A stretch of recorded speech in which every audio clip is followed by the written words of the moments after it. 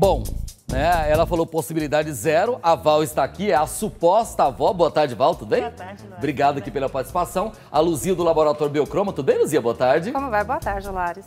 Ô, Val, me conta o seguinte: nem chegou a ser um namoro que o seu filho teve com essa moça, não, né? Exatamente, não foi bem um namoro, foi só um, um casinho rápido, né? Eles ficaram. Ficaram, aí ela engravidou e aí ele disse, é meu filho, é meu filho. Ela também sempre disse, é meu Então, filho. ela sempre garantiu que ele era o pai. Sempre garantiu, ele também sempre garantiu. Só que a família, tanto faz da minha parte, não sei da parte dela, mas a família da minha parte sempre fala, não parece nada com ele, não Mas é. o que, que a família fala? Fala assim, olha, esse filho não é dele, não é dele. Ele assumiu, registrou Ele criança? assumiu, registrou. Mas que- ele tem dúvida?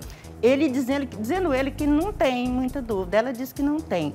O que que acontece, Loares? Hoje em dia, as coisas estão tão difíceis que a gente não pode deixar um sangue da gente assim no ar, crescer uma criança, sem saber se real- a gente ter aquela certeza se realmente aquela criança é neto ou parente ou não, não é verdade? Como é que é a sua relação com essa criança? Eu já tive algumas vezes com ela, eu trato ela como se fosse meu neto. Mas essa certeza meio que serve como uma, uma barreira Uma ali. né? barreira. Meio que uma Se o exame comprovar que realmente a senhora é a avó dessa criança, vai mudar tudo, né? Vai mudar muito mais, porque hoje eu já crio, já tenho um certo amor por ele, já faço o que eu posso por ele. Mas fica meio receoso. né? É, a gente fica naquele negócio, né?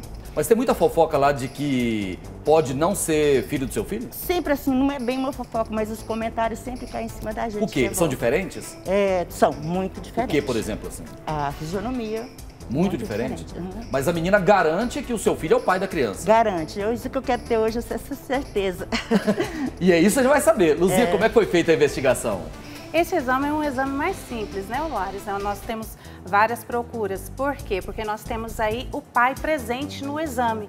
Então, nós fazemos a investigação direto com o suposto pai. Então, assim, é um exame que é é um dos mais fáceis de fazer. né? É um dos mais tranquilos de se fazer. Aqui está o resultado.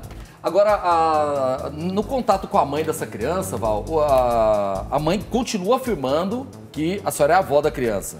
Ela sempre fala que eu sou. Se eu for, vai ser um alívio para mim, para mim, toda a minha família parar de ficar com aquele negócio. O Não seu é, filho né? registrou essa criança. Ele registrou, ele disse então, que ele é o- pai. oficialmente ele é o pai da criança. Ele disse que sim. A senhora está preparada para qualquer resultado aqui? qualquer resultado. Estou super preparada, porque não vai mudar muita coisa. A única coisa que vai mudar é eu ter certeza e mostrar para minha família que é verdade. Então é o seguinte, a- a- essa menina, a mãe da criança, garante que a senhora é a avó. Garante. Mas comentários lá falam que Não parece com meu filho. senhora está preparada é. para o resultado? Tô. Está preparada? Qualquer Tranquila, resultado? Tranquilo, tranquilo, porque, enfim, para mim vai ser uma pessoa a mais na minha vida, que somar muito mais. Luzia, a avó é, ou melhor, a Val é ou não é a avó dessa criança? Concluímos, então, que o suposto pai, Dácio Richard Alves Gomes, não pode ser considerado o pai biológico do filho, Walker Romeu Silva Gomes.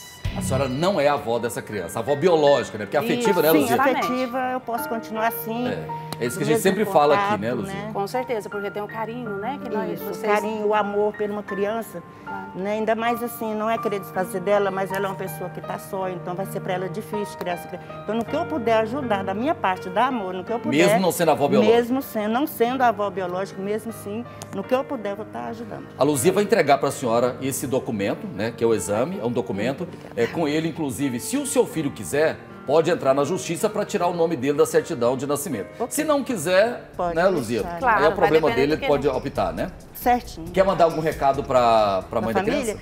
Eu quero, eu quero Pode, pode dizer... olhar para Essa câmera 2 Essa aqui, pode olhar aqui. essa 2 aqui. Então, quero dizer para ela que agora está concluído, graças a Deus, o que eu pensava, não só eu, mas eu sempre tive aquela barreirazinha, como eu disse para ela já isso, e a minha família também tinha essa barreira. Então, no momento, já desfez essa barreira e eu vou continuar amando ele da mesma forma, tendo contato na maneira do possível e ajudando da mesma forma, como antes. Para a nossa amizade não abala nada. Parabéns para a senhora, né, que tem essa consciência. A criança não tem culpa de nada, né, De nada, de de nada.